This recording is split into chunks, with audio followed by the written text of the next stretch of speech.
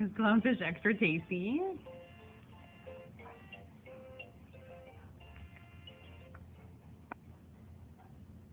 What a delicious clownfish. Oh.